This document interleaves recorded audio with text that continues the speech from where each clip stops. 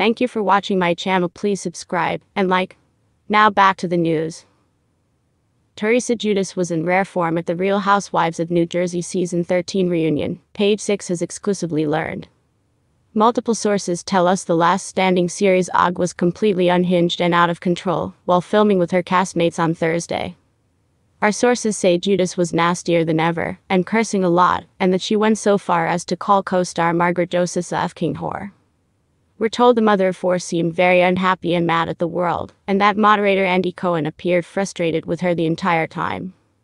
However, one insider insists the Bravo honcho, 54, was not any more frustrated with her than with the situation as a whole, claiming Giudice got worked up only when the topic of her family dynamics came up. This was the first time Teresa, Melissa Gorga, and Joe Gorga were going to see each other in person, the insider points out, emphasizing the trio's long history of deep rooted family issues. The insider says Giudice acted out of a place of hurt, but admitted that her same energy was not necessarily matched by her sister in law. Ahead of the tense taping, Giudice, 50, admitted she was somewhat apprehensive about seeing her brother and his wife, who are close with Josephs, as their rocky relationship has reached an all time low in recent months. Giudice told us last week she anticipated a very weird and uncomfortable situation with the couple, but confidently predicted that she would be fine. It's my job, the longtime Bravolebrity said.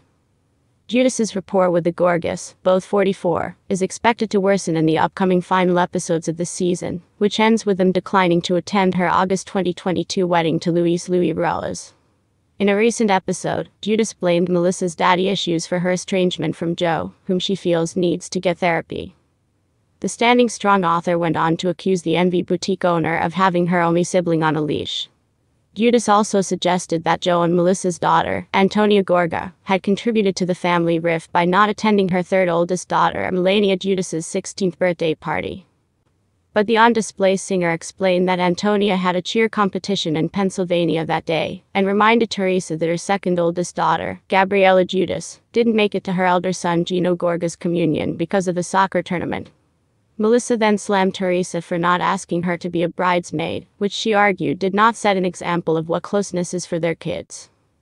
If I felt the love, Teresa replied, I would have gave sick it right back to you. As for her history with Josephs 56, Teresa has repeatedly accused the entrepreneur of exposing Ruelas' problematic past.